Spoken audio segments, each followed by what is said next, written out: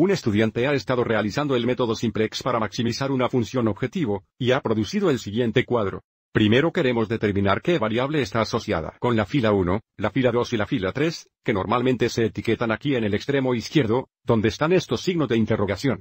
Esto también indica qué variables están activas. Comencemos por determinar las variables activas analizando las columnas de nuestro cuadro. Una columna que contiene solo un 1 y ceros indica qué variables son activas o básicas.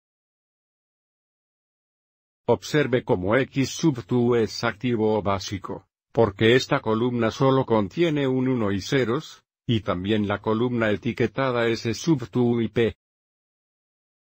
Entonces, estas son las tres variables activas, por lo que al mirar la columna etiquetada x sub 2, dado que la primera se produce en la primera fila, la primera fila está asociada con x sub 2.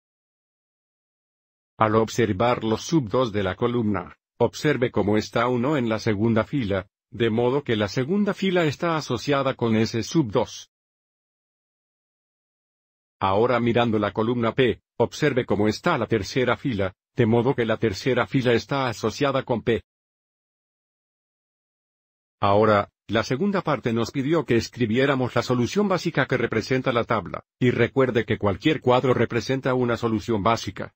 Entonces podemos determinar el valor de las variables activas mediante el análisis del cuadro, y las variables inactivas o no básicas son iguales a cero.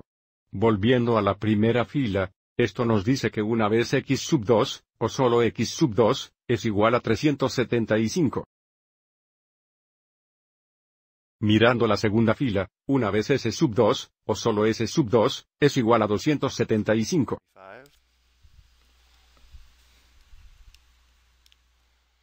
Y finalmente, mirando la tercera fila, esto nos dice una vez que P, o P, es igual a 425.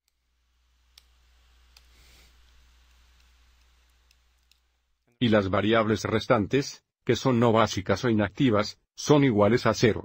Entonces, esta sería la solución básica que representa el cuadro la tabla. Espero que hayas encontrado esto útil. Ahora hay una cosa más interesante sobre este cuadro. Analizando la fila inferior, observe cómo hay una entrada negativa a la izquierda aquí, lo que significa que esta sería la columna pivote. Pero observe cómo ninguna de las entradas en esta columna es un pivote adecuado porque todas son negativas, y el pivote tiene que ser positivo, y esto ocurre cuando la región factible es ilimitada, lo que nos dice que no existe una solución óptima o que no existe un máximo. Espero que hayas encontrado esto útil.